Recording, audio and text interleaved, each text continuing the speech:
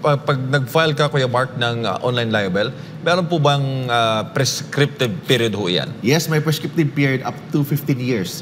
Iba ang libel na ordinary libel kasi sabi ng batas, pag ordinary libel, one year lang ang prescriptive period, you need to file a case.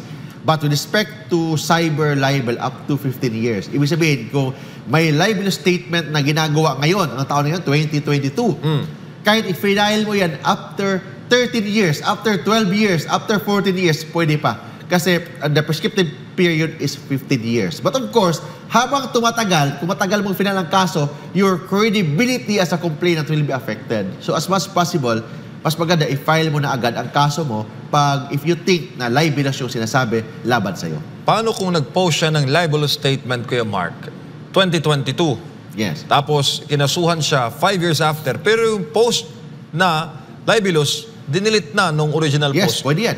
As long as ah, yung pag-publish talaga, may crime na yon. So, ibig sabihin, the the 15-year period or the 10-year period or 1-year period, nag-start yan from the first from the first publication. Aba, so screenshot lang, pwede na. Screenshot lang. Tapos may timestamp. Of course, pag i-final mo after 10 years, after 12 years, it will affect your credibility. Baka nawala na yung mga evidence mo. Mas maganda, i-file mo as soon as possible if you really serious in filing criminal case for cyber libel. SMNI. Truth that matters. Si uh, Huson Roble ng Makati, good morning Kuya Mark, makakasuhan ba ng cyber libel kahit walang nakalagay na name ng tao sa mapanirang post o comment? Sabi ng batas hindi kailangan nakapangalan as long as properly identifiable. Kung sabihin mo, yung pinakamaganda dyan sa Makati, ang dami naman maganda sa Makati. Ang pinakapangit dyan sa San Juan, dami naman pangit doon. Huwag mo huwag yan. Kailangan nakalagay doon. Yan, kailangan properly identifiable. For example, yung Miss Makati noong 2019, isa lang Miss Makati of 2019, for example, by Beauty Queen. Miss Makati of 2019, mabaho ang kilikili. Example. Yan. That is libelous. Bakit? Wala nakapangalan kung anong pangalan niya. But isa lang ang Miss Makati of 2019. Isang tao lang yon. Kung sinabi mo yon, that is libelous. Bakit? Hindi nakapangalan but properly identifiable. Yun ang word na ginamit ng batas. Aba, saan po pwede mag-file, Kuya Mark, ng uh, online libel? Ang online libel, of course, you kung for example, kulang pa yung yung evidence mo, you can go to the cybercrime division of the NBI, cybercrime division ng PNP sa, sa CIDG for proper investigation. But for example, enough na yung mga evidence mo, you can file directly to the prosecutor office. Prosecutor office to the city or municipality where the cyber, the first published, kung unang nakita sa biktima, doon mo i-file. For example, ah, ikaw, si biktima si Pedro, Ah, he is from San Juan. But, nakita niya yung post na binastos siya sa Makati, i-file, pwede niya i-file sa Makati or pwede niya i-file sa San Juan. Discretion po niya yan. Si Rosal ng Ilocos, attorney, maaari po bang patawan o maaari po bang hindi patawan ng no bail ang kasong cyber libel? No, cyber libel is bailable. Ang no bail na bata, na requirement, yung mga capital offense lang, yung life imprisonment, yung, yung reclusion perpetua, but cyber libel, ang penalty ah, is up to 8 years lang naman, so oh, bailable ang kaso. Yung uh, pag nag-file ka, Kuya Mark, ng uh, online libel, meron po bang uh, prescriptive period ho yan? Yes, may prescriptive period up to 15 years. Iba ang libel na ordinary libel kasi sabi ng batas, pag ordinary libel, one year lang ang prescriptive period, you need to file a case. But with respect to cyber libel, up to 15 years. Ibig sabihin, kung may libel statement na ginagawa ngayon, ang taon na yun, 2022, kahit i-file mo yan after 13 years, after 12 years, after 14 years, pwede pa. Kasi uh, the prescriptive period is 15 years. But of course, habang tumatagal, kung matagal mong final ang kaso, your credibility as a complainant will be affected. So as much as possible, mas maganda i-file mo na agad ang kaso mo pag if you think na libelous yung sinasabi laban sa'yo. Paano kung nag-post siya ng libelous statement, Kuya Mark, 2022, Yes. tapos kinasuhan siya five years after, pero yung post na libelous, dinilit na nung original Yes, post? pwede yan. As long as ah, yung pag-publish talaga, may crime na yon. So, ibig sabihin, the the 15-year period or the 10-year period or 1-year period nag-start yan from the first from the first publication.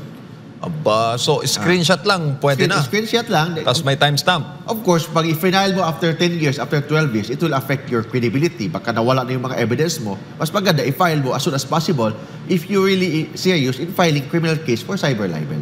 Alright, si Conrad Reyes ng Cavite, good morning. O good day, Kuya Mark. Ano po ang pinakamatinding parusa na maring ipataw pag convicted ka sa kasong cyber libel? 8 years. 8 years in every post. Hindi yan 8 years lang ha. 8 years in every action. In every act. For example, dami mo pinost doon. Every word na sinabi mo, that is one count of cyber libel. But 8 years yan, lahat. Aba, 8 years each, 8 years each. So kung meron kang sam, uh, 10 counts ng cyber libel, Oh, times 8, that's 80 years. reclusion perpetua na. Ah, hindi din. Eight, uh, 80 years, but still bailable kasi mag-count po tayo per case. So, it's still 8 year, so still bailable. Mm, so kahit pala makul- makonvict at uh, mahatulan ng final judgment, or for example, Kuya Mark, uh, umantong na sa kataas-taasang hukuman, Oh, yes. guilty ka talaga, Guilty. beyond reasonable doubt, Oo. pwede kang magpiyansa pala. Ah, wala na. Pag final na, wala na piyansa. Ayan. Oh, kasi ang, ang piyansa, pag pending pa lang ang kaso mo. Kasi temporary liberty ang piyansa. So, ibig sabihin, pag hindi pa final ang kaso mo, pero pag final and executory na, ah, wala nang piyansa yan. Pero Kuya Mark, eh, dito ah, ah, based lang sa iyong karanasan, Yes. Dalo, halimbawa, halimbawa lang ah, it, lahat ng korte ah, talo sa kaso. Pagdating ng CA, two times talo. Oh. Do you think sa Supreme Court, parang di ba? The chance of winning, very slim. Very slim. Based on reality, ha? Wala akong pinanigan dito, but based on reality, pag talo ka sa lower court, tapos doon sa RTC talo ka, sa, sa Court of Appeals talo ka, minsan, mabaliktad. But the chance na mabaliktad, maybe 10 to 20% lang. Sabi, no? Pag Supreme Court nang nagsabi, kataas-taas ang hukuman. Yes, yes. But, of course, may tinatawag tayo presumption of regularity sa ginagawa ng mga lower courts. Of course, the Supreme Court will review it. That's why chances of winning, ma, parang malabo na pag na-convict ka na sa, sa trial court, tapos in-appeal mo sa Court of Appeals, convicted ka din. Pagpunta mo sa Supreme Court, may chance na mabaliktad, but the chance is very slim, maybe 10 to 20%.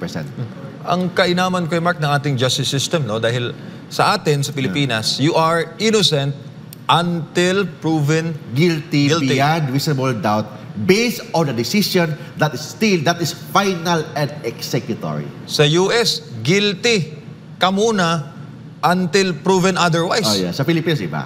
O no? Oh, so, ang Pilipinas, bibigyan talaga ng mga accused ng special treatment based on the principle of due process, based on the principle of a democratic and a republican country, binigyan talaga. So that's why trabaho ng court yan, trabaho ng lawyer mo yan to prove that uh, to prove, trabaho pala ng Department of Justice to prove that guilty siya kasi the, the lawyer of the accused, hindi na kailangan nila i-prove yan kasi he is always presumed innocent. Yan ang totoong justice system. Hindi yung inakusahan ka lang, huli ka agad. Oh, hindi- Tapos hindi ka na, hindi nasa kulungan ka na, wala kang pampiyansa, doon mo papapatunayan na ikay inosente. Yun yung sa US justice system. Baliktad yun. Dapat mali yan. Hindi, hindi mo dapat i-prove sa court that you are innocent because you are always presumed innocent. Ang nag-akusa sa'yo, sila ang may obligasyon. They have the quantum of proof. They have the obligation to prove na guilty ka. Kung wala kang mapapatunayan, dapat i-acquit ka ng korte. Eh, sad to say, sa US hindi ganun. Ang, Pilip, ang sa atin dito, ang mainam, magandang justice system. That is the system of the Philippines. But of course, yung sa US, I don't know kung tama yung ginagawa nila. Especially na they are, the, they are supposed to be the mother of a democratic system. The mother of the world sa democratic system. But I think uh, they need to review their law. But of course, wala tayong pakialam sa batas nila. Ang sa atin, ang batas ng Pilipinas ang, ang sa atin dito. So, dapat, ang batas ng Pilipinas very clear. You are always presumed innocent until there's the decision of the court is final and executory. Subscribe to